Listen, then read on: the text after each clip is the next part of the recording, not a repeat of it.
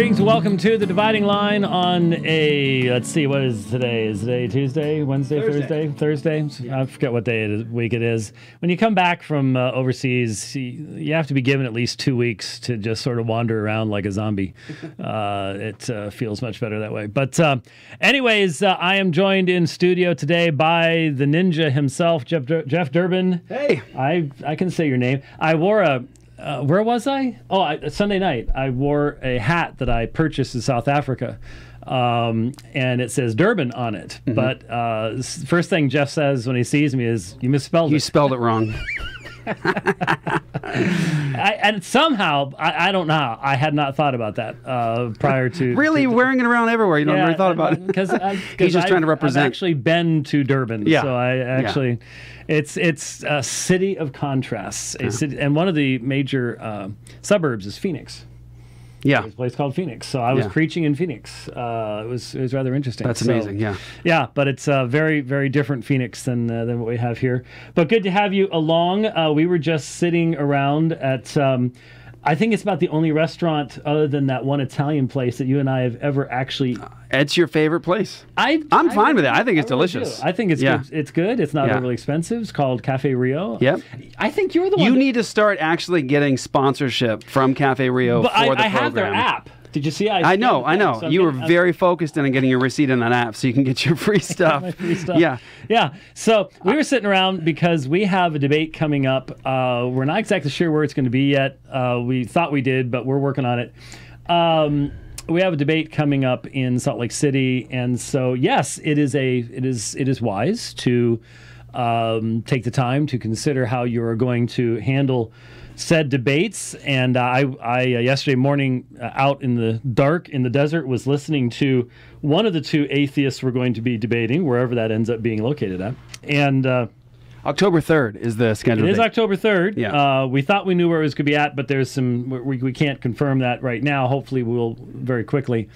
Um, but uh, I was listening to one of the two uh, atheists, and um, it's going to be, I can guarantee you one thing it will not be a boring debate. Yeah. No, it will not be a boring debate. It will be, We can say the name. Can I say the name? Can we say the names of them? yeah, sure. Yeah. Dan Ellis, who's the president of uh, A- Atheist Utah, Utah Utah, Atheists. Utah atheists. Yes, yes, and then uh, Greg, Dr. Greg Clark. Right.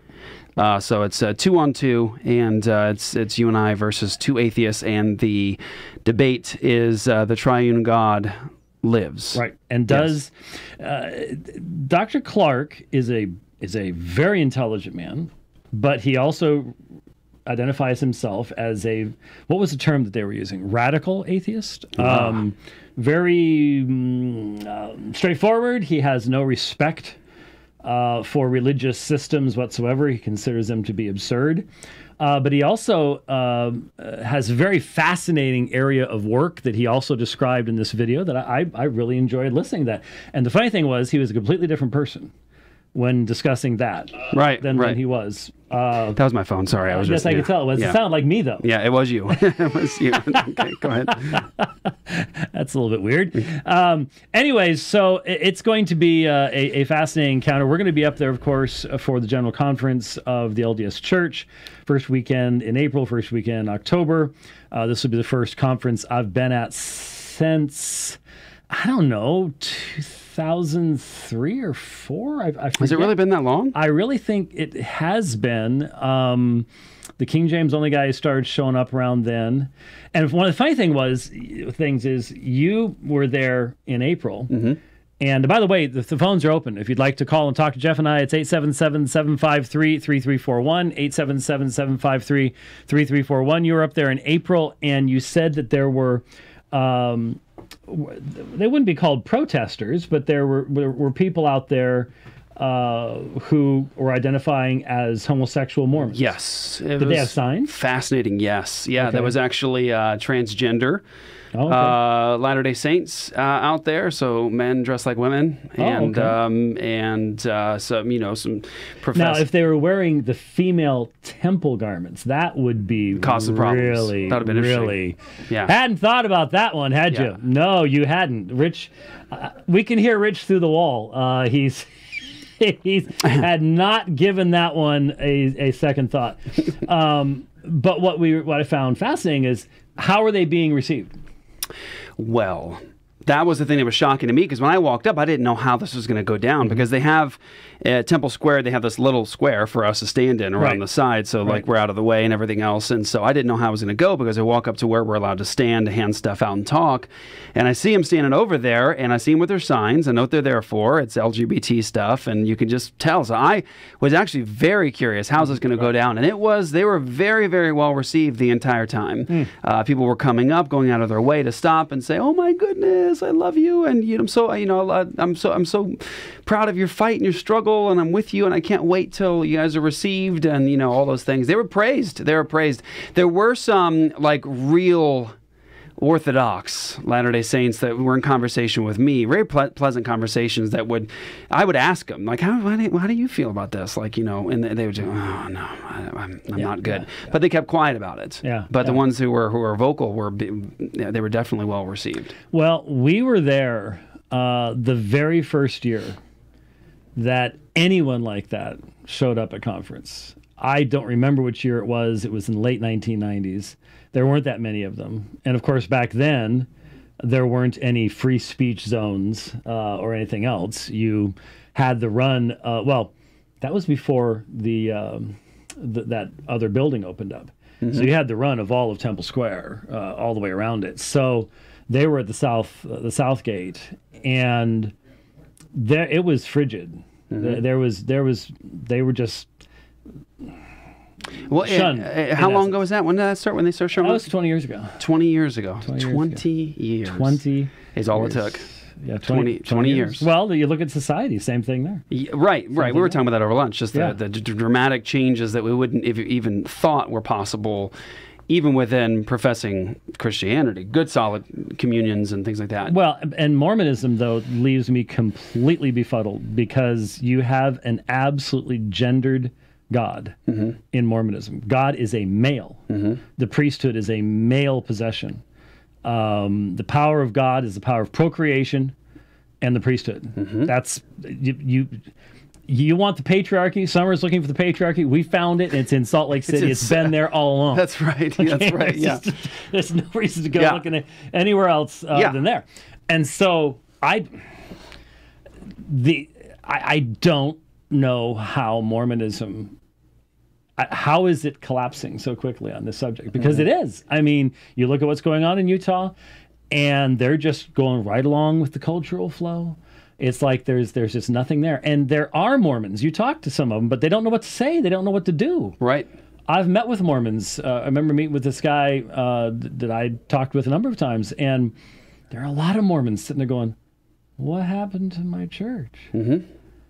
And the sad thing is, they're not so much thinking that they were wrong before, and hence be looking for something else. It's just they're they're left with nothing to nothing to hold on to. Yeah. And so, like, yeah, like we were talking about before, what's the next stage for Mormonism proper? Yeah. Uh, also, also, at least SLC, like the main, you know, what, what's it going to look like? Is there going to be a figure that arises and sort of says, hey, let's get back to our roots and this is apostasy and let's get back to what is really Joseph's revelation and on and on? Uh, what will Mormonism look like in 25 years? Very, very good question. I don't know. There, it is rife for a charismatic leader. There's no question mm-hmm. about that. Someone like that, especially with social media mm-hmm. and just a little bit of backing, could have a huge following. I'm not suggesting this to anyone. I'm not. Uh, any Yeah. false prophets uh, unemployed right Yeah, now? because we got some work for Call you. in now. It's in SLC. no, actually, I was uh, years ago. Uh, I was teaching classes for concerned Christians when that was still around Oh, wow. uh, in Mesa. That was a long time ago. I- I. Yeah, and uh, I remember I was there, and uh, Jim Jim Robertson was in there uh, in his office, and some guy kind of wandered off the street, kind of poking around, looking around, and it's a real small little you know place, and so it's kind of you know you know when someone walks in is poking around, and. Right. So I'm like, can I help you? And he's like, yeah, you know, I saw the sign, and he he thought we were associated with the Church of Jesus Christ of Latter Day Saints. So um, he says, yeah, I'm just, you know, I'm wondering uh, if you guys can help get me connected. I was like, well, what connected to who? To what? He said, well, I'm, you know, I'm really interested in in real, real Mormonism, historic Ah, Mormonism. yeah. And I'm like, okay. And uh, he, I'm just like, how many talk. wives do you want? And that's what he was there for. He was asking me if I knew of an if this was like a, a legitimate connecting point to get to the real Mormons. He said because I'm really a big believer in the polygamy, Mm-hmm. and I think where the church has gone today, it's gone way off the rails. And I said, well, you know, have a seat. I want to talk to you about something. oh yeah, oh yeah, yeah. so I was like, yeah. you're kind of in the wrong place, Yeah. but I'm glad you're here. But that's what he was looking for was real Mormonism. Yeah, yeah. I, re- I remember. Um, I, I I can see the guy's face. I don't remember what his name was, but what? And what what story was I about to tell? Well, okay, no, I wasn't talking about polygamy. Sorry. Um, But, but was- let's let's keep that one on backup, Rich. I want to hear that story now. No, well, uh, according to other people, we met a lot of of polygamists uh, in in Salt Lake City. Actually, they may not have identified themselves as such at that particular point in time, but we but we did. Uh, anyway, uh, we were talking to a Mormon at the South Gate, and he pointed up at the spire of the of the temple. Were you there for this one? And uh, he pointed up the spire of the temple, and he said, "I guarantee you." That within, I think he said within 25 years, there will be a cross on the top of that steeple.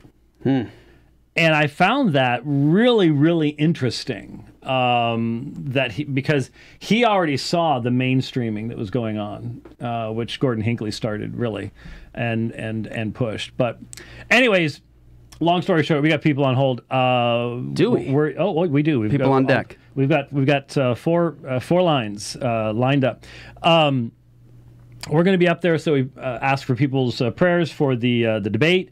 We're doing a dialogue the next night, and then we have the outreach on on Saturday, and then I'm preaching um, Sunday school and Sunday morning service at the Orthodox Presbyterian Church in Magna, uh, Jason Wallace's uh, church up there Yeah. in Salt Lake. So, so Thursday debate, Friday discussion with a Mormon, but Friday and Saturday, Apologia Church will be out there um, doing evangelism at Temple Square. So y'all could be going out Friday night just for the people. Friday and yeah, Friday up. and Saturday. That's Okay. the plan. Yeah. Okay, cool. All right. So with that, I suppose I should put this in here. So you're so used to wearing headphones, you just automatically throw them on. I, Yeah.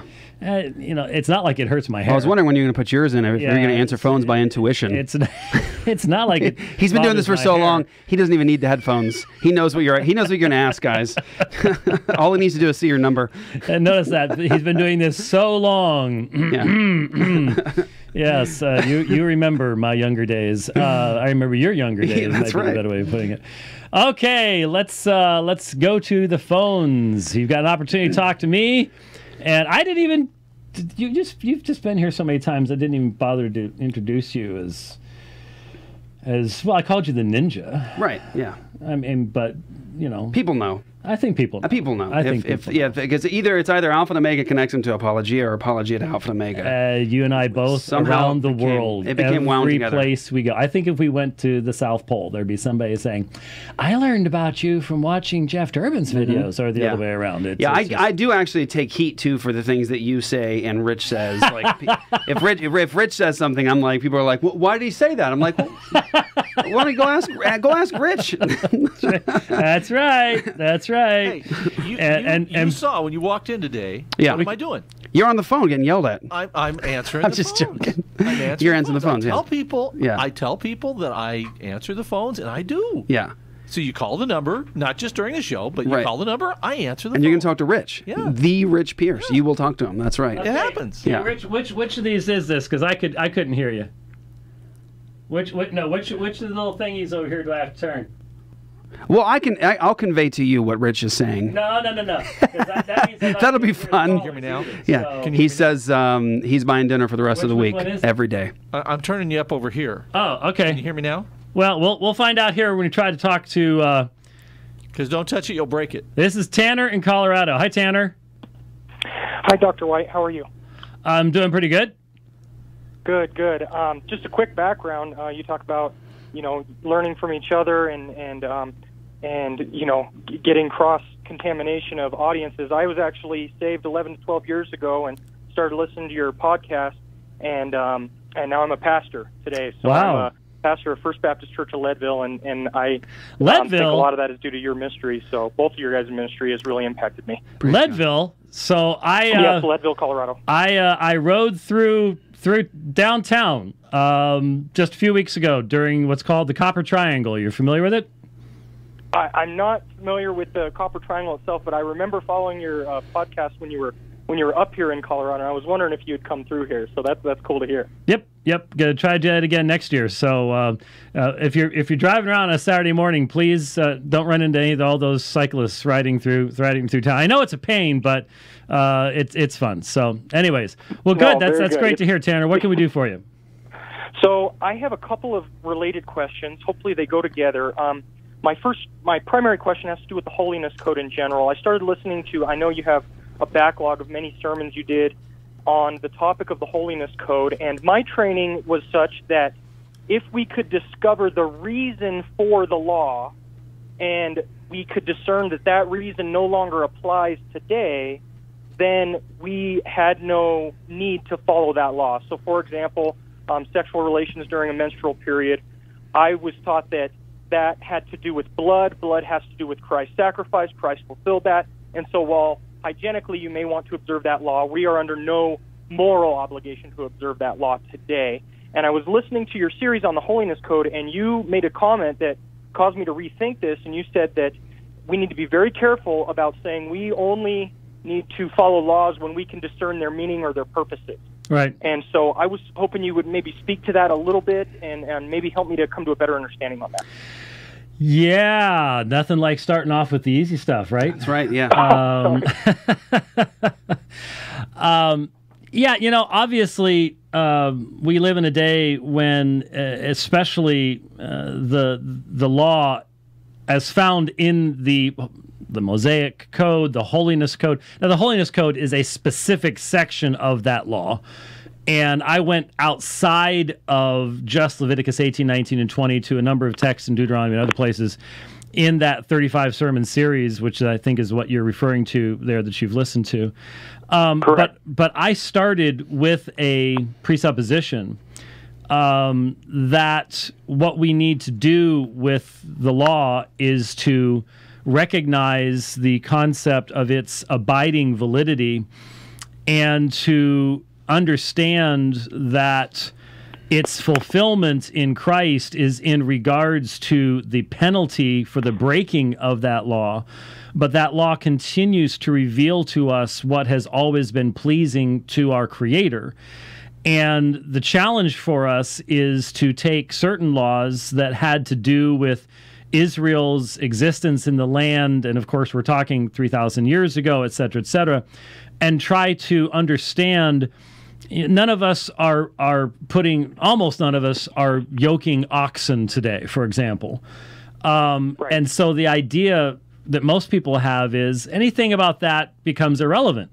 It better not be, because you go to the New Testament and Paul starts talking about ministers in the New Testament, and what does he do? He pulls that very law up as being relevant to the continued support of ministers of the gospel.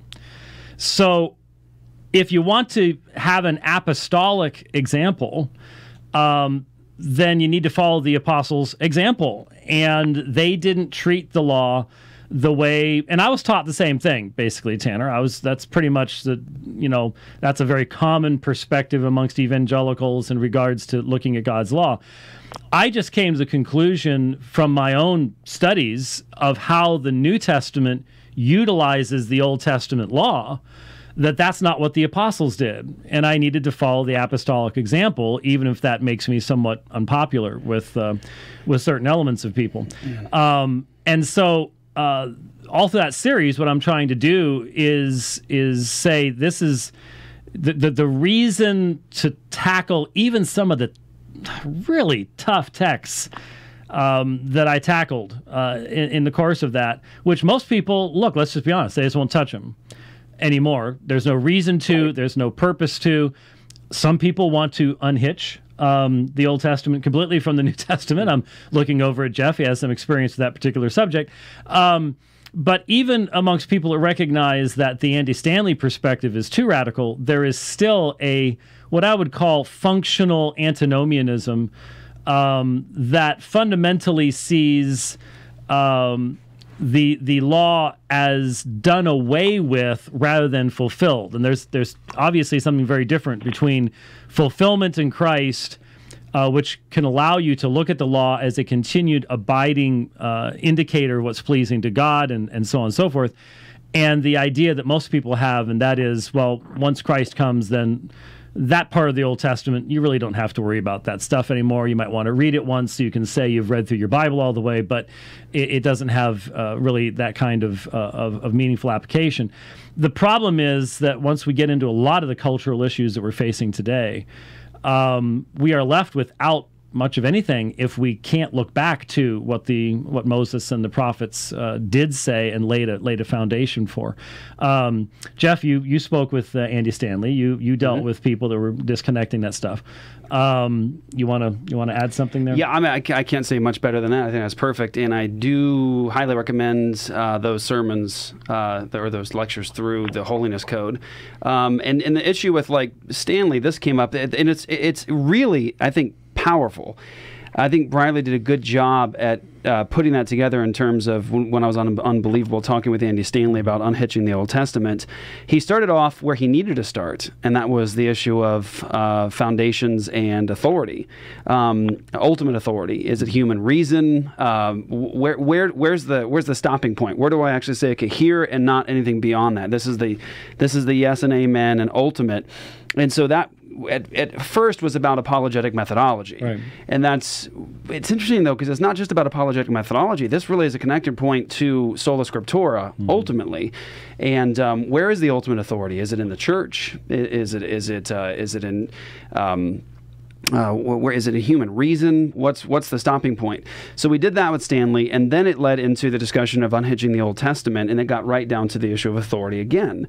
And it, I, it, we did talk about that, the fact that in the New Testament documents you have the um, the apostles referring back to not just animal husbandry laws, but judicial law mm-hmm. in terms of a case law example. They'll mm-hmm. even appeal. I mean, it's it's done numerous times in the New Testament. The issue of two to three witnesses. Mm-hmm.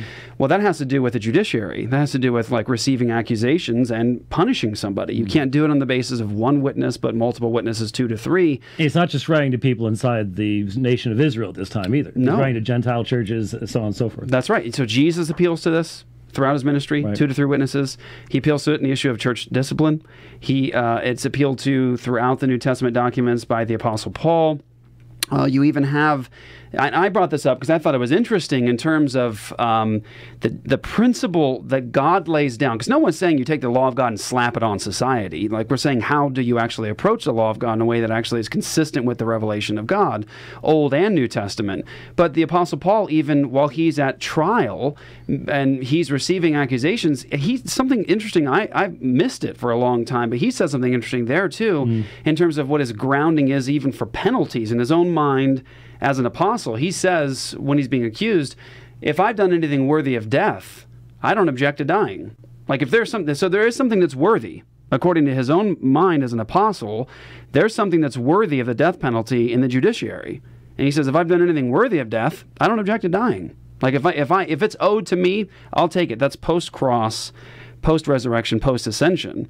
So you have um, judicial law in terms of accusations, you've got animal husbandry laws, and you even have the death penalty referenced in terms of principle. Well, where's all that coming from? It's not just sort of suspended in midair. It's not the opinion of the apostles. They're grounding it somewhere.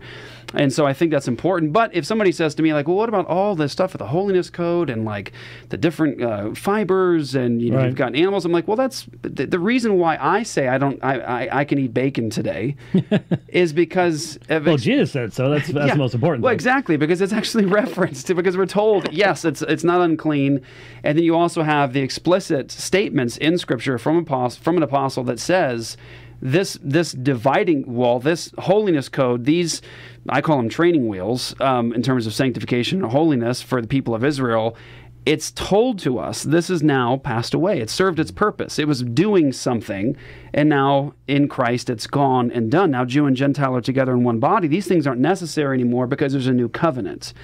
and the people of God together in one body. That's why this is shaved off.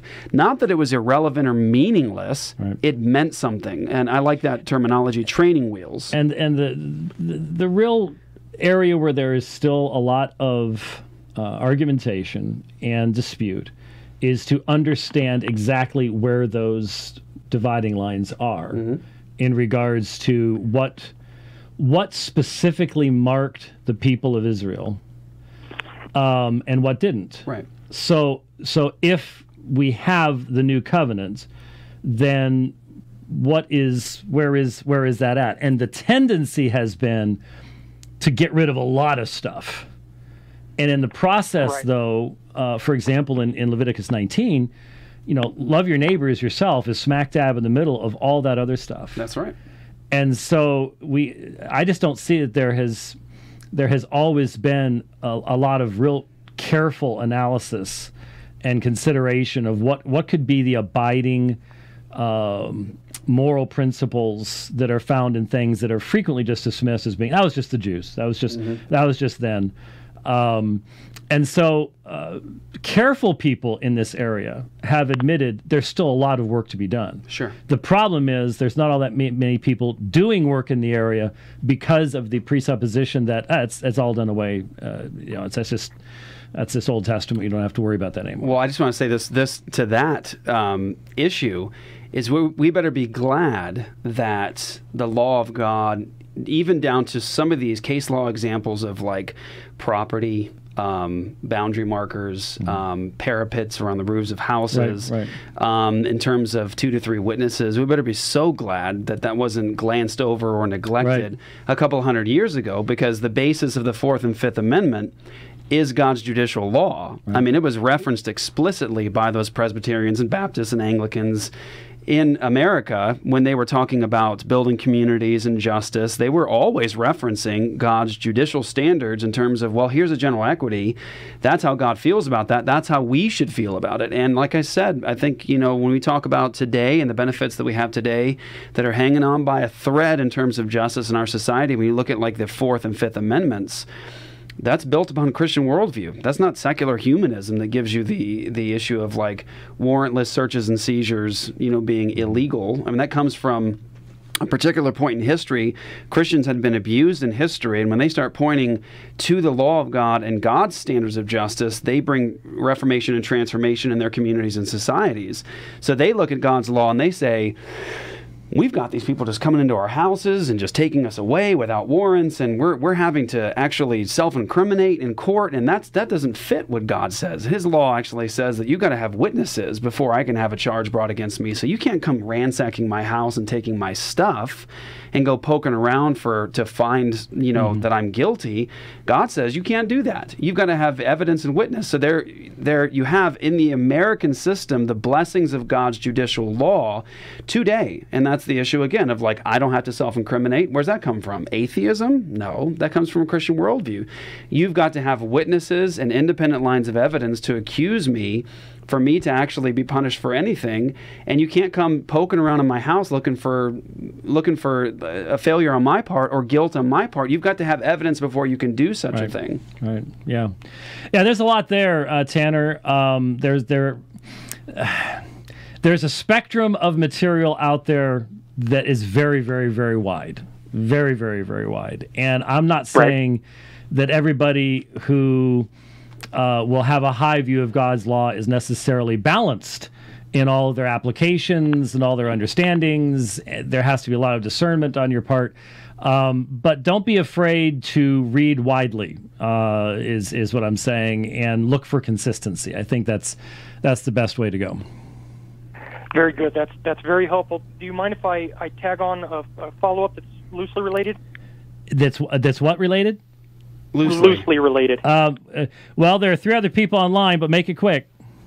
Okay, I I was um, reading through Mark chapter 2, 23 to 28. That's where um, Jesus violates the Sabbath, and he essentially appeals to David, and David utilizing, um, you know, e- eating the bread when he he- he wasn't allowed, and him and his, um, you know, his mighty men. My, my my question is is the way I've heard that described is something I'll call law priority or graded absolutism, where these are still absolute commandments of God. These are still absolute commands that He gives us, but they are graded within and amongst themselves. So we can still hold to an absolute moral standard, while by the same token recognizing that some absolute moral standards hold higher authority than others. But part of the reason I'm bringing both of these questions up is I'm introducing to our Bible study tonight the topic of homosexuality. We've been talking through Christian ethics, and I, I want to discuss all this. You know, they dismiss Leviticus 18 to 20. Pretty much they throw it all out the window because of a few verses. And I just want to develop a consistent hermeneutic on this topic so that I can hold to a good biblical standard um, that is able to kind of, I, I guess, um, answer the skeptics and the critics while also maintaining the integrity of the word. So that's that's I guess my question is on Yeah. that law priority graded absolutism. Yeah.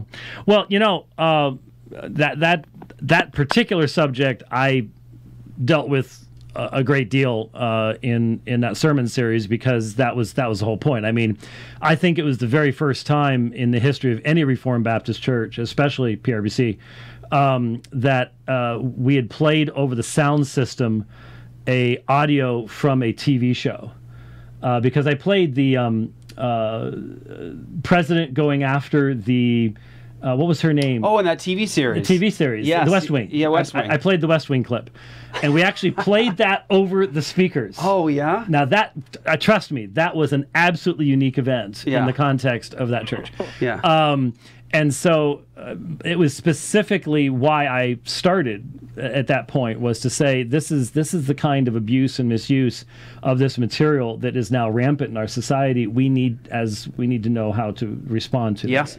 And so that was really what I was attempting to do there. And as far as you, you know, the the only thing I would say there clearly are you know moral and ethical questions where you're dealing with the issue of what seem to be in our experience competing commandments um, and and how we prioritize things all of that is quite true.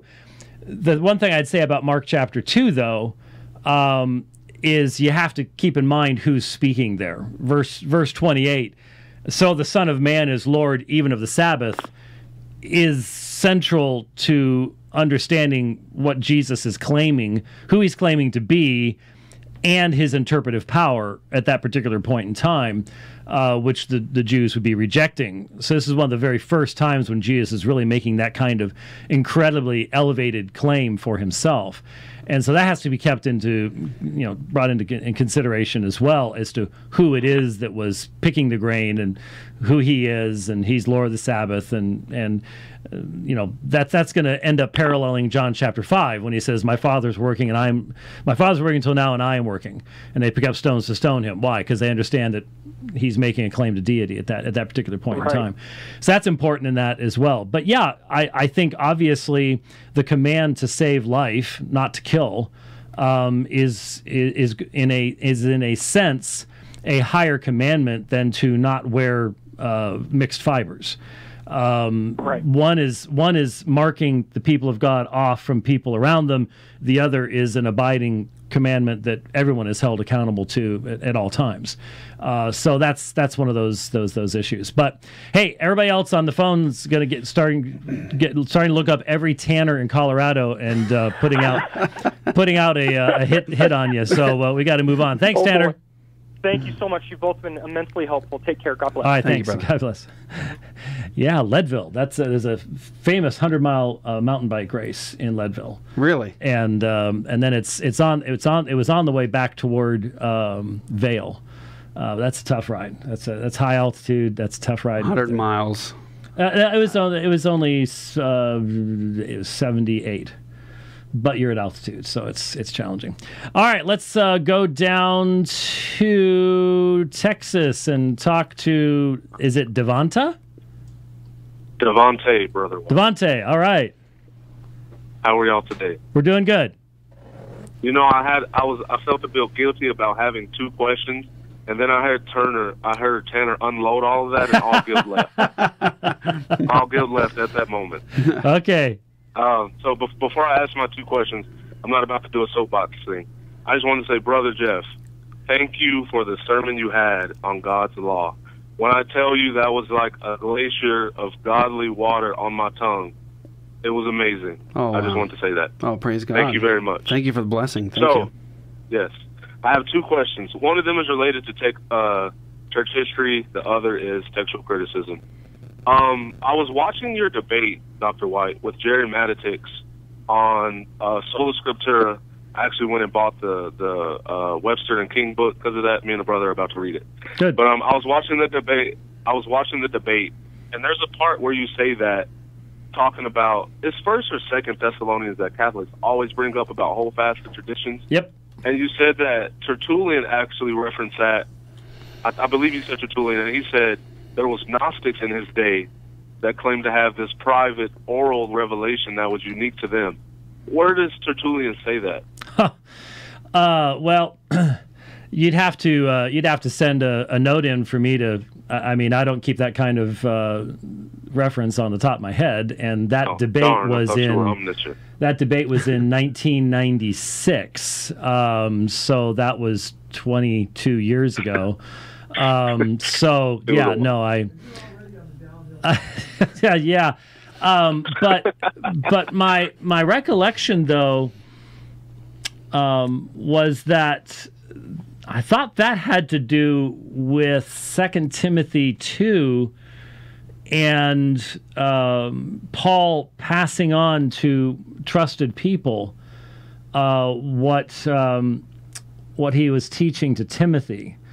Uh, I mean, that's my recollection, but um, I probably have those debate notes buried somewhere. But I'd have to I'd have to look it up to have a specific reference to to what Tertullian Okay. said. But I think if you looked up, um, if you have a index for Tertullian's writings in the Schaff edition, if you look up either Second Thessalonians two fifteen or I think it's uh, Second Timothy uh, two two. Yeah, either one of those two references is probably going to pull it up because that it was one of those two texts.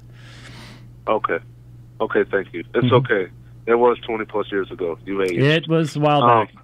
How, how how old are you, Devonte? I am 25. Okay. Do you, how uh, do, and do you remember things real clearly from twenty uh, two years ago? not not not unless my mother's there. Okay, there you go.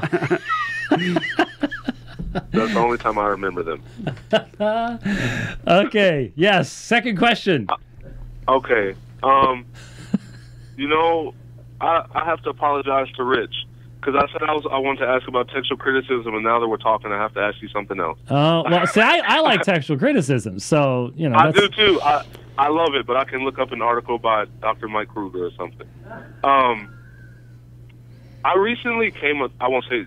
I recently started to actually see the biblical support for presuppositional apologetics Mhm. and like watching the How to Answer the Fool with uh, Sye Ten Bruggencate, and I'm just I'm just getting a little bit of background so you can understand.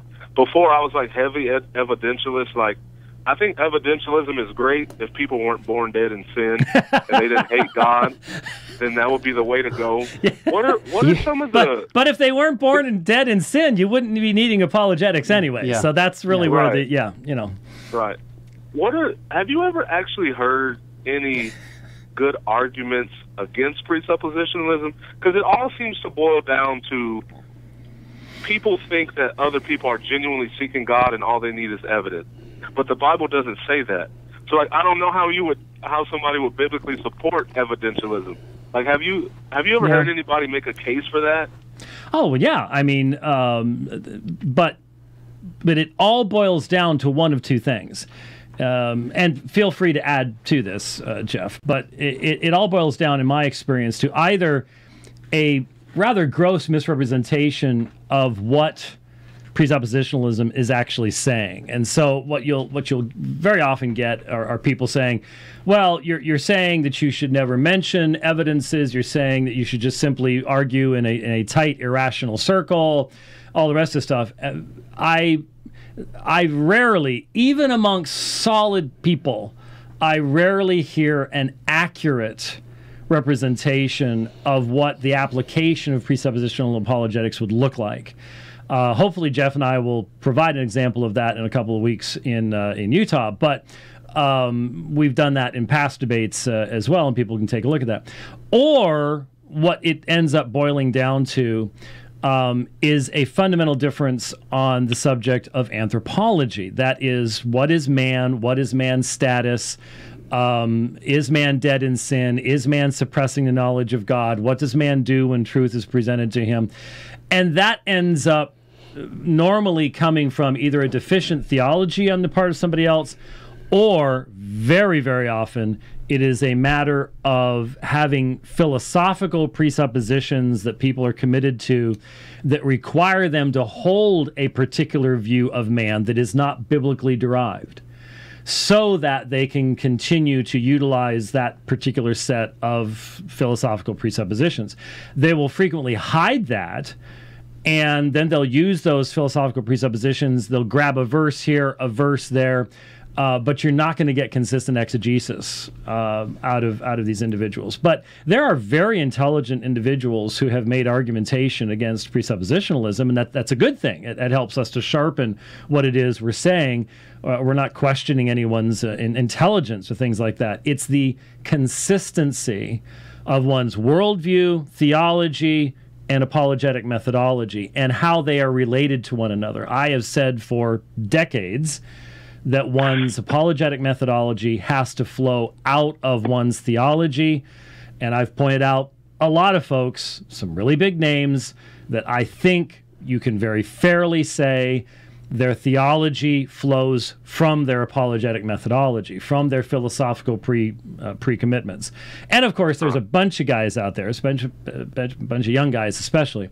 Everything you do is philosophy. As soon as you open your mouth, you're doing philosophy. So philosophy is before everything. Um, so that would mean that before God could speak to Adam, the philosophers had to lay out their systems. No. Yeah. Uh, that's not how it worked. And again, that's that just shows the difference of where where people are coming from. Um, if God could hold Adam accountable as he did before the first philosopher ever philosophized, uh, then that means God's revelation is prior to uh, any of the uh, ordering of men's thoughts. Uh, or even doing that in a godly way. There is a godly way to be a philosopher, but fundamentally that requires a submission to the ultimate authority of God's revelation first and foremost for anything else.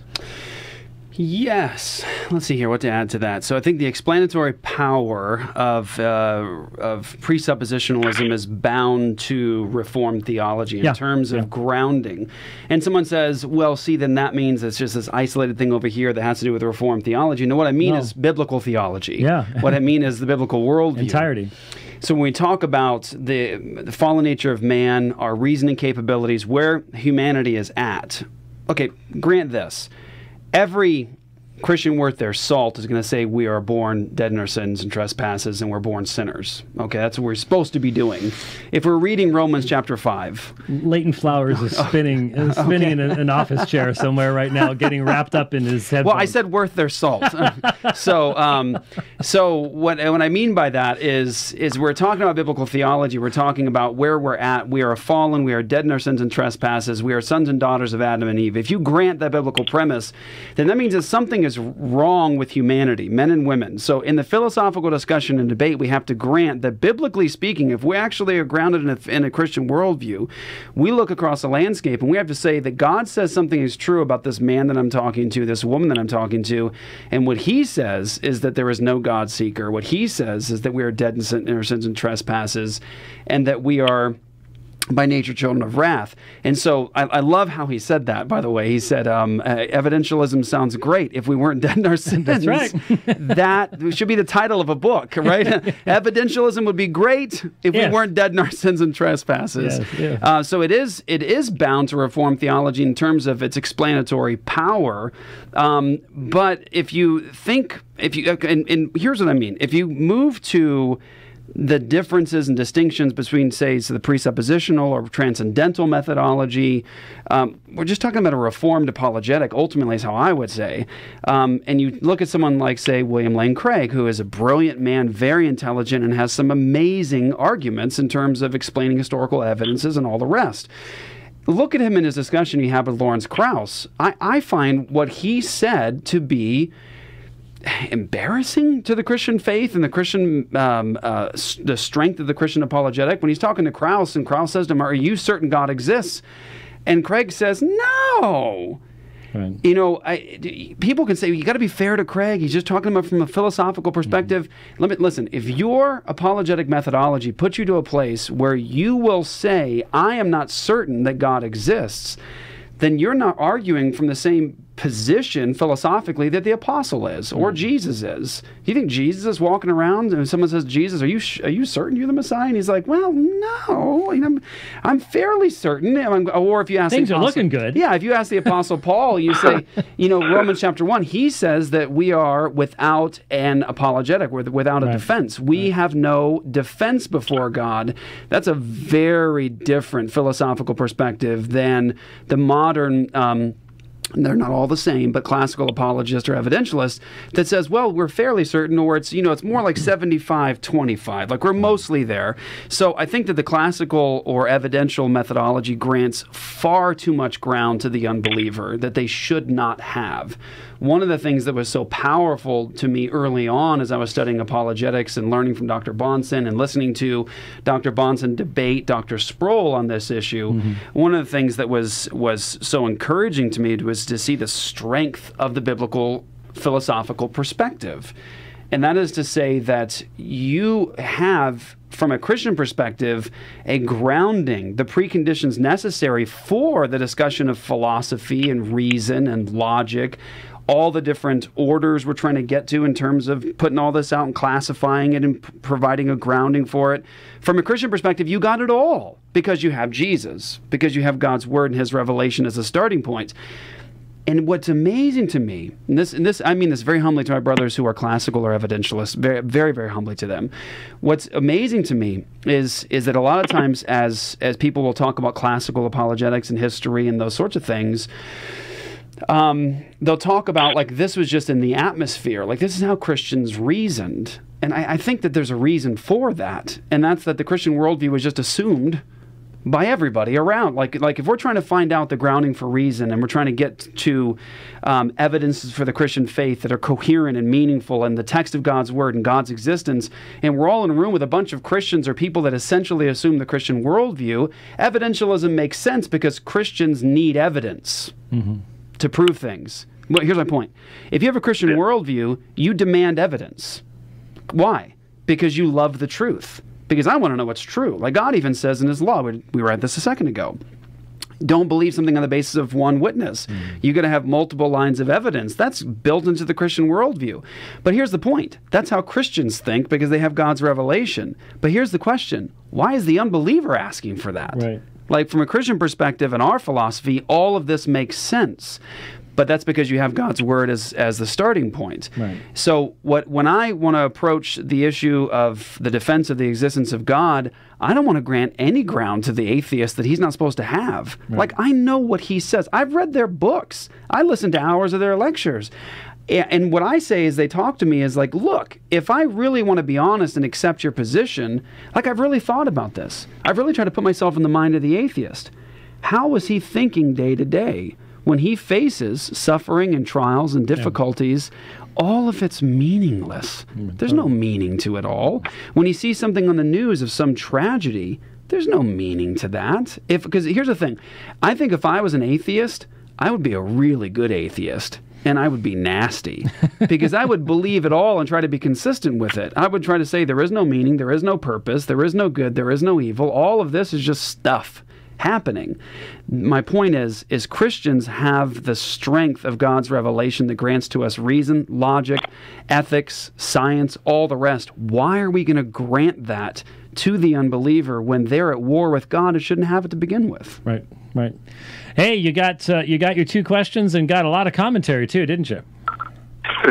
Thank you. I just, I, I really started to feel convicted about being an evidentialist because I remember I was watching one of your reviews of Michael Licona, and you were talking about like this incrementalism Right. in apologetics, and I was like, he is absolutely right. Like I have been taught before. I repented. I would talk with people and I would tell them, Noah's ark. that bothers you? Jesus rose from the dead.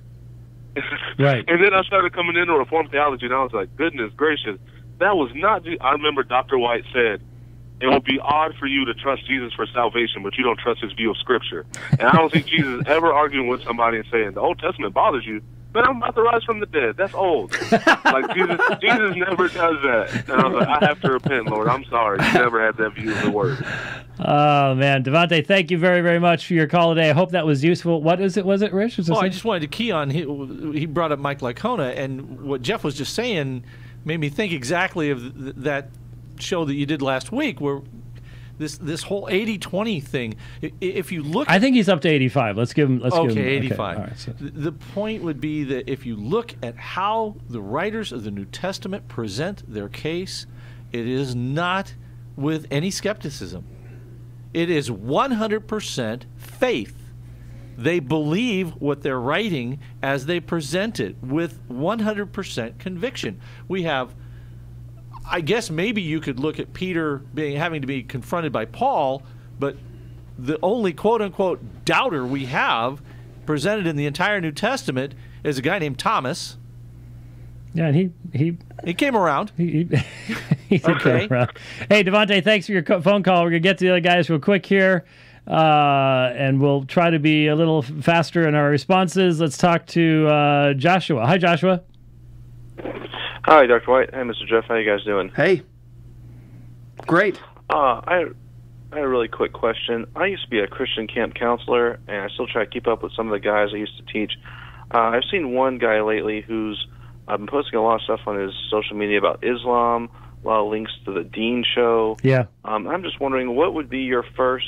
What would be the best way to sort of reach out to him? What would be your starting uh, apologetic? Because as much as I wish he would, I don't think he's going to watch all your debates, even if I Uh. recommend them.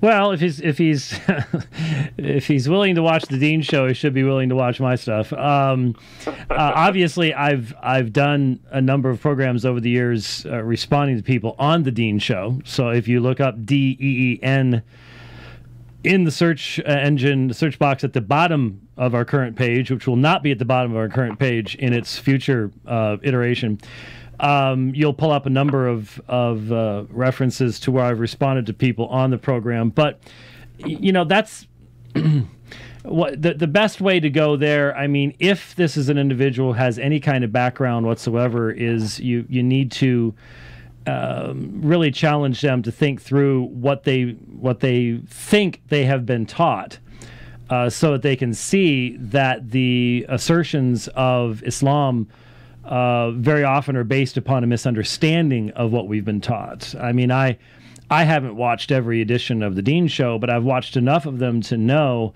that the uh, level of inaccuracy of representation of Christian belief is extremely high. And someone has to be challenged to say, why would that be? Why, why can't you actually respond uh, to real Christianity? Uh, why do you have to deal with something else? Now, part of the reason for that is the author of the Quran didn't know real Christianity, so they come by it honestly. Um, but then there are other people uh, on that program that, as quote unquote former Christians, just simply uh, massacre what it is they're presenting. So make sure he has, um, you know, challenge him to to read meaningful material on both sides because I honestly believe if you compare uh, the Forgotten Trinity uh, to the best that the Dean Show has to offer on that subject, there's not going to be much of a much of a, um, a competition there. And um, you know, if he's if he's not if he's willing to listen to the Dean Show but not willing to listen to meaningful debates done in mosques, then he's already made up his mind, and there's not much you can do about that. Um, but you know, I direct him to the, the debates that are done in mosques with Muslims. That's about as fair as you're going to get. And if Christianity can stand in that mosque and and uh, go toe to toe, then he has to ask himself the question: Why don't I see this happening on the Dean Show? Why does Dean Show only give one side of this and never, ever, ever, ever the other side at all? Though I'd be more than happy to provide it. Uh, why? Why is that? So, those are just some of the basic things. Thank you, Dr. White. Uh, like I said, I only had the one question, so let you go. Okay. Although, if you have any uh, quick words of uh, advice for a first-year Greek student, I'd take those too. well, it's best if you're not taking uh, other languages at the same time. If you've already started, this next piece is irrelevant. But if you haven't, then learning English before learning Greek really helps. Uh, most of the students that I had that struggled in first year Greek were struggling with Greek. Uh, I'm sorry, were struggling with grammatical concepts, not with Greek, because they didn't know their own language well enough. Uh, utilize the uh, resources are available. There are lots of resources available on your phone today for keeping up with the vocabulary. If you do not keep up with the vocabulary, the rest will turn into mud in your head. Um, if you keep up with the vocabulary, then you have more brain power to focus upon the specific concepts that you're picking up as you're being as you're being taught it. And then uh, buy yourself a Greek New Testament, and when you go to church, when they're reading from the New Testament, try to try to follow along. Expose yourself to the language.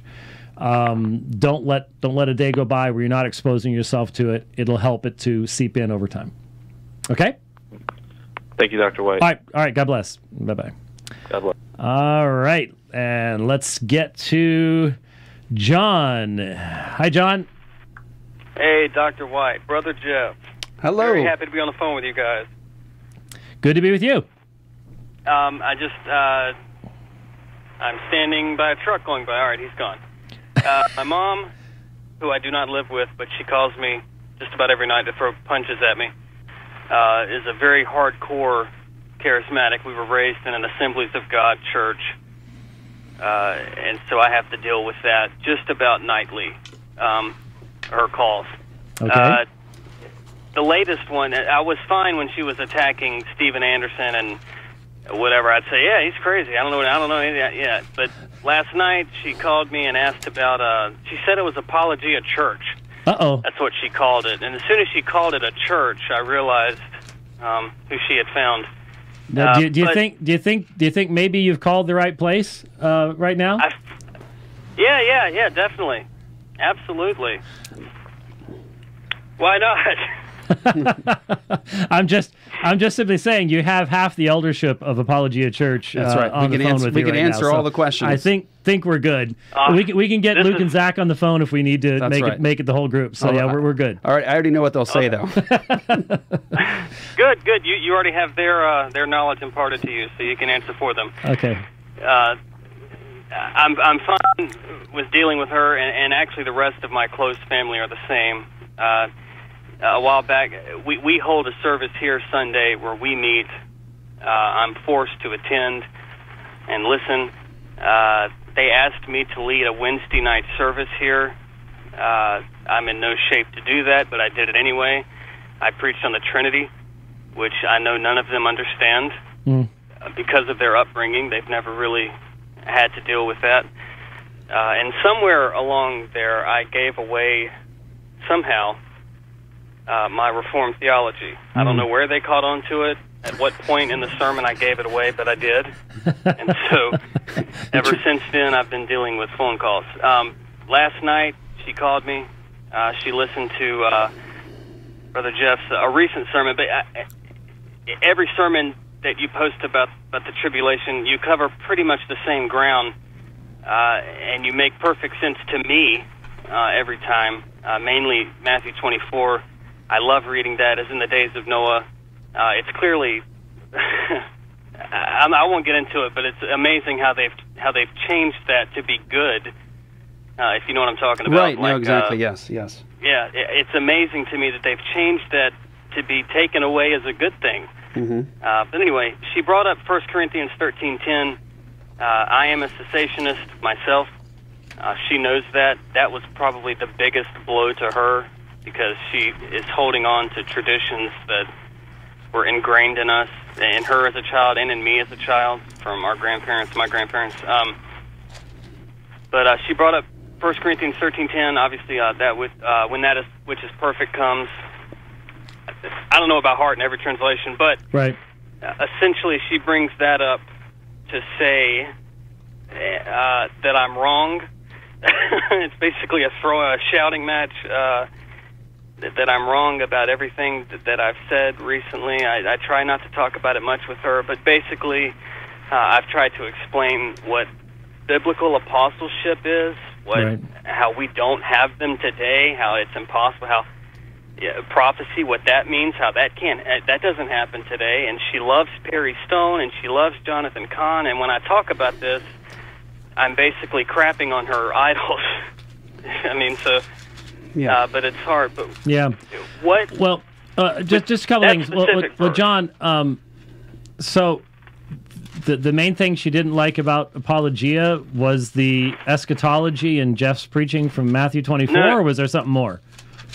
she watched maybe maybe 10 minutes of a sermon he put up uh, either yesterday or the Okay, day that's before. that that's that's that's not even the introduction for Jeff.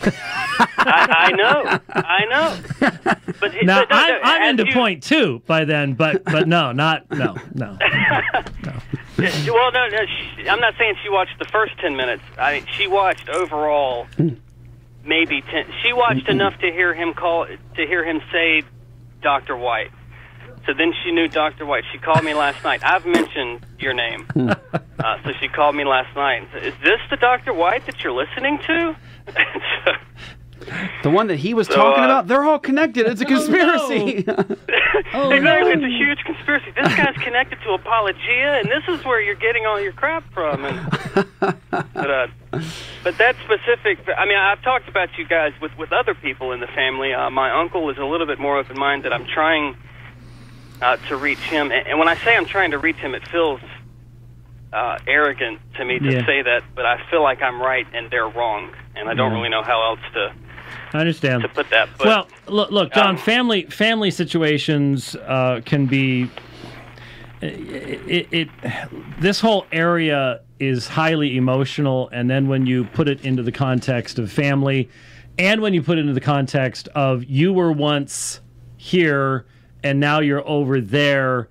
There is automatically a self defense mechanism that kicks in because what the person's hearing you saying is they are wrong, you are right. And so they bring up all the family stuff and everything else. And it, it, it can be extremely difficult. Um, it, it can be so complicated that in many times I've seen people outside the family be able to get much more uh, distance as far as being able to get somewhere than interfamilial conversations, unfortunately. But in, in light of that, then I would, um, my suggestion would always be um, that let, us use let's use I'm not sure which sermon it was, but um, just thinking about Sunday's sermon with with Jeff, got to the end of the of the sermon, and he's like, okay, so what does this all mean? He was he had been just talking about the four horsemen of the apocalypse and so on and so forth.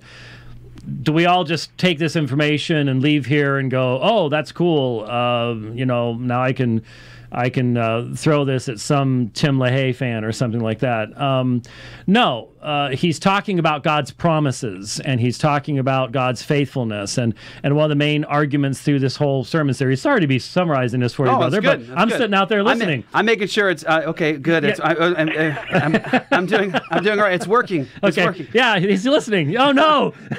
I thought he was sleeping during all this. Oh no, he's actually listening. And by the way, it's not fair that I have to preach covered so sermons to. Dr. White at church. Like, uh, it- it's it's it's weird. Like, you understand, you understand what kind of pressure that is to have to teach for Dr. and I White in normally your sit sermon? down front so you can see me very clearly. Like you're putting together sermons and you're like, okay, and this doesn't teach the church, and this person knows nothing about the Bible or eschatology.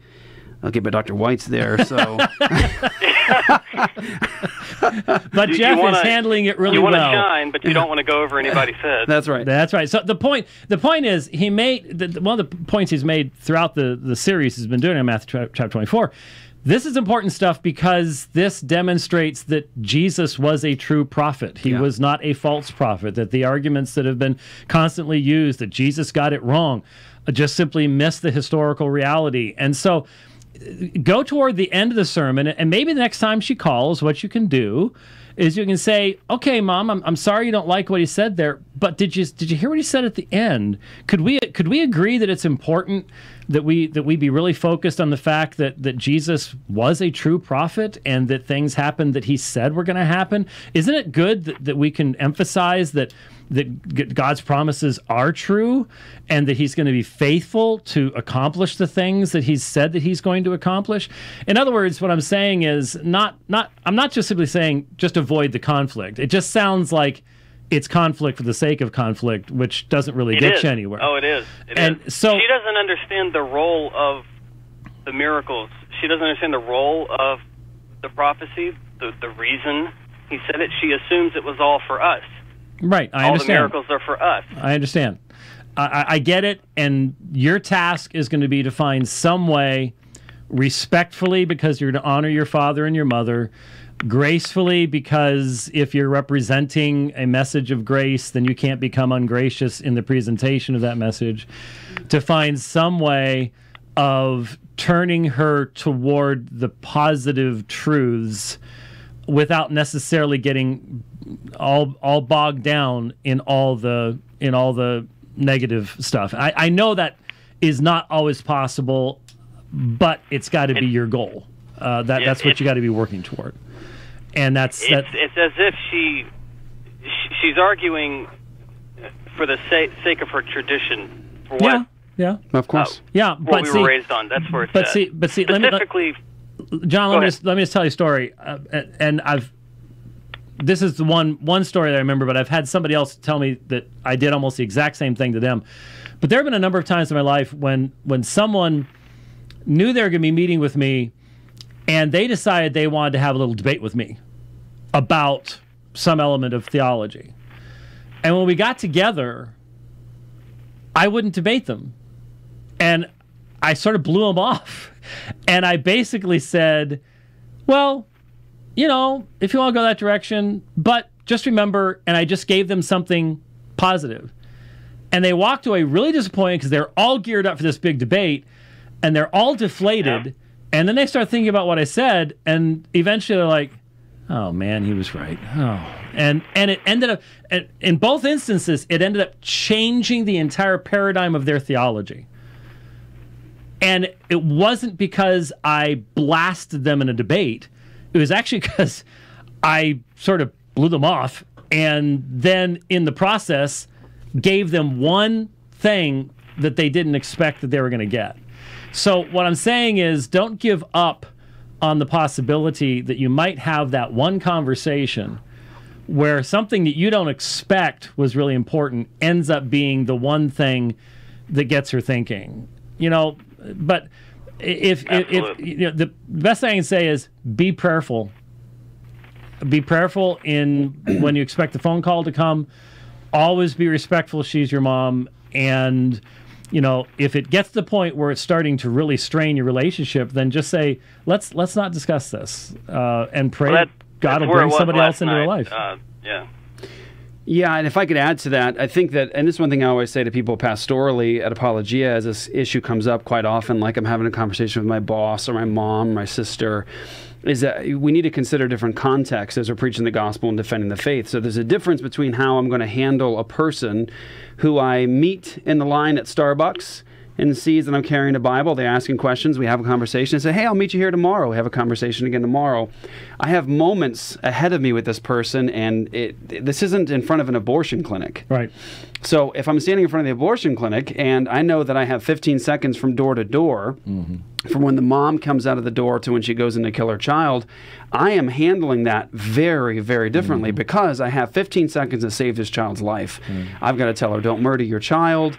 This is Christ. He'll he'll forgive you. Turn to Him and live, and we'll help you. Like 15 seconds, and I'm pleading for the life of a child, and I I will call it murder. I mean, I'm not, you know, I'm, I'm cautious about how I do that at Starbucks, right? Right. But I'm, I'm gonna be Yeah. like, Yeah, you ex- don't want your latte poisoned. for example, um, uh, uh, Gary DeMar and I, we we filmed something that's going to go up on Apologia Studios soon. Last week, we filmed at uh, Benihana. We're like took a whole table up. We filmed this conversation at Benihana. They're you know making food on the table, and we're having a conversation. Um, I, I waited until listen. I, this is the truth. I waited until our chef left the table before I started talking about Yeah, abortion. knives. so sweet of you. Yeah, yeah. So um, uh, it's just context. And when I have a conversation with a family member, I need to realize, look, I've got Thanksgiving and Christmas and birthdays Yeah, and marriages yeah, with yeah. this person. Mm-hmm. I've got maybe some time. It doesn't mean I'm, I'm going to compromise. It means I'm going to be wise about how I actually present this stuff and recognize this is a family relationship. This person's not going anywhere. I have to see them again. I can have more time. In God's providence. I mean, in God's providence. you know, things can change. I, I may not I may not need to blitz this person with everything all at once and then completely divide the relationship and never get another opportunity again. And I need to be wise about how I do that. And so just be careful. And I would say also, I would just drop little seeds and remember this crucial, crucial thing. How hard was it for me?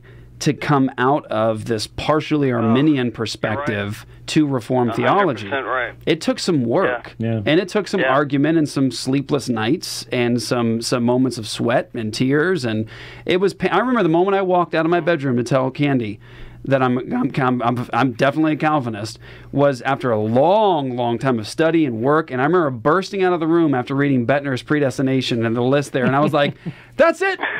I'm a Calvinist, and and she's like, "What?" I'm like, I, I, I, I guess I always have been. I was just confused. I'm, I'm definitely a Calvinist." She's like, "Oh, like you know, wow." And uh, the same thing for me with the issue of eschatology. It took work, so I need to make sure that every person who's leaving a nasty comment at Apologia Studios, I'm always aware that this person may come back a year from now or two years from yes. now Oh, and yes. say, you know what? Yeah. Because I've had it happen so many times now, I've lost count. yeah. Jeff, I hated you. I was so Mm-hmm. angry with you. And then it was that one verse that changed my mind. And so I'm just always ready for that. And I'm always aware that it may take this person some time. I've got to be patient and let God do his work with his truth. I can't tell you how many times someone has come up to me, uh, people now in ministry in Reformed churches, and they said it was the George Bryson debate on the Bible Answer Man. They said, I was driving along, I was screaming at the radio, I hated you. I couldn't believe what you were saying.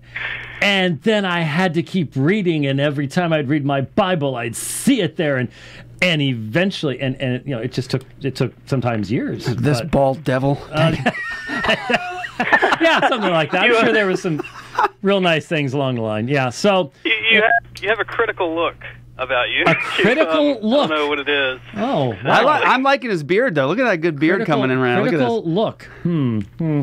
It's uh, I, I don't I don't know critical. I don't know uh, critical. Uh, crisp, sharp. Crisp. Uh, but um, I don't know. Um, piercing. Word. Piercing. Let me ask you, Piercing. where where do you draw the line uh, between uh, like, like I'm sitting here listening to to her talk to other people in the family. I know what she's saying is not biblical. I know I can go to scripture Yeah, but and I can look at am I lying? Am I supposed to say something, or is it okay after a year and a half of this to say she's going to have to come to it on her own, or, is that arrogant of me to say? I don't even know where to go from that. point. everybody everybody has to make that decision uh, prayerfully, always with great patience and grace. But there there has to come a time. There has to come a time where you're, say, "I've I've said everything that, that can be said. If the Lord's going to do something else here, He's going to have to bring somebody else to do it." Um, I've I, I can think of numerous situations in my own life where I was far more patient with someone. Believe it or not, I was far more patient with someone than another Christian would have been with that same person. And then knowing that person, I know there are people that they were so much more uh, patient with somebody than I would have been. So that's why there's a body. Um, you just you just got to be transparent before the Lord. It's your mom. Always be there for her. Always love her. It doesn't mean you always have to debate her on theology. You know, even if she Yeah. goes you to do it. So as long as she knows that you're where you stand and that you're you're ready when she's ready, but you don't have to you don't have to let it absolutely destroy your, your situation either. So okay, man. I appreciate it. All And right. look, look, real quick, uh, Jeff. Yeah. Um, I, I love your work, uh, Luke, Joy. I love Summer. I love Sheologians. I love all of that. Uh, the work you guys are doing, and Dr. White. I can't imagine traveling that much, but um, it's a sacrifice that I respect both Thank of you. you. So I just wanted Thank- to say that. I really appreciate Very the encouragement very much. All right. Thanks, John. Hey, Thank you. Thank you. All right. God bless. If John listens to this later on, I, I would like to add one thing to this, and that is, John, I, I would encourage you to actually play this segment for her. oh. I, I would I would encourage you to do that and see what kind of impact that has on her, because I, I think it has value. Oh. Okay. All right. Thanks, John. Well, I appreciate it. Thank you. All you right. guys have a good one. All right, You thanks. too. God bless. Well, Jeff, I know that you have a uh, appointment that you need to uh, to Counseling. to. You got counseling to do. Yep. And uh, so I figured I, I was going to try to shoot for three fifteen. We did. We got it. I'm good. We're, we're, we're doing it. We're doing good. Um, thank you so much. Um, I think folks enjoyed getting the opportunity to uh, to talk to both of us at the same time. yes. Um, and you're right. I, I, I've even contacted you a couple times from uh, the other side of the earth uh, to point out somebody's. Well, again tonight, somebody came up to me and said, "Hey, I found out about you from watching Jeff Durbin stuff," and, then it goes. And then I found out about Jeff Durbin by watching your stuff, and uh, another person says, and. Uh, it just uh, we are we need to keep taking advantage of these opportunities while we have them to be certain. But That's right. it's uh, it's great to have the opportunity of answering these types of questions and doing it from it, it, what's the what's the section from the psalm uh, that talks about uh, how how blessed it is when brethren dwell in unity Unity, yes. uh, Yeah. and uh, so you know we talk about who's going to be filling the pulpit at apologia we don't we don't have to worry about who's going to be preaching what uh, because we know that we're going to be preaching the same gospel That's and right. go in the same direction so That's right. um, you're up uh, next Sunday, That's right. and, then, then I'm up the Sunday after that. Yeah, that's right. Uh, and I'll be continuing the uh, Lord's Supper series. That's We're right. What are we on now? Four? Uh, this will be the fourth one, and we're going to go into the confession this time. Okay. So I, I, I can only imagine two more. Mm-hmm. So I think it'll be about six uh, on the supper. So we're going to go into the London Baptist Confession of Faith on the Lord's Supper. I'll try to get it done in, in two sessions. I think it's going to be really, really helpful for people. Yeah, I- six parts. It would be nice to have that available as a playlist or something like that someplace uh, Yep. to, to deal with the subject the Lord's Supper because I think that's extremely important. And interestingly enough, the last time that I ministered down in uh, South Africa at Antioch Bible Church, they reminded me of this. I had remembered it that we're going that uh, I preached to them about the Lord's Supper, and they found that extremely useful, very helpful to do that. Oh, yeah. And uh, what's this I, here? I just saw it sitting here. Did you put it here for a reason? No, it, No? It's, no, it just happened to be in here. but okay, it's so- it's apologies. Uh, So I'll say two two things. I just saw it that reminded me. One is that ReformCon is happening October 24th Right. and 26th here in Phoenix. ReformCon.org is where you can get tickets. So it's uh, I'm very excited about it. The last day is going to be an End Abortion Now portion, Okay. um, and uh, churches coming from across the country. But we also are premiering Babies Are Murdered Here too at the Oh, conference. oh. So Dr. White is speaking. Uh, Joe Boot is Mm-hmm. coming. Uh, just a bunch of guys, and I'm very excited about it. Uh, Summer's going to be here. Yep. We're gonna do Sheologians uh, live, Apologia Radio, um, just just just to have fun. Just everyone gets together. let's and- hope the internet works well. That's I, we're, we're going to work really hard on that. Uh, next thing is is because we're going to be in Salt Lake City. I know there's lots of Christians in Salt Lake City and around in Utah that are really going to um, come say hi. Last time it happened, we barely announced it. We had a ton of people show up just to say that God's been using the ministries, both yours and mine, in their lives. And so a lot of people are showing up. A lot of people want to do evangelism um, out there. I just want to tell you that um, our tract is available um, at apologiastudios.com. We just got a new order in there, selling out constantly. Gospel for Mormons. Um, and so we just got a new order in. So apologiastudios.com if you want to get the Gospel for Mormons tract that we're going to be handing out. And pretty soon, and I grab one of the original Grace Plus Works tracks for me, so I can get that editing done. Uh, we have uh, it's the Grace Plus Works track, isn't it? Um, a million tracks is doing it, right? So the Grace Plus Works is dead, being meaningless tracks being done by one million tracks. Is that going to be ready by next month? I don't know. Yeah, yeah, I know. I'll, I'll, I'll, I'll Bring I'll try, I'll try to bring tracks. Yeah. but but they're going to be putting it out, and when they put it out, everybody ends up getting it. Yeah. They're far far better. If you've got tracks, Rich, send them with us. We're gonna have a team driving up. We'll have tracks to hand out. But so I just I just saw this sitting here, and so no, was just Studios. over there, and I just didn't move it. so- Yeah, so this uh, the gods really use this tract. Um, I'm encouraged by it. So yeah, yeah, just want to make sure I announce that. Excellent. All right. Well, thanks for listening to the program today. Lord willing, we'll be back with you probably Tuesday of next week. Till then, God bless.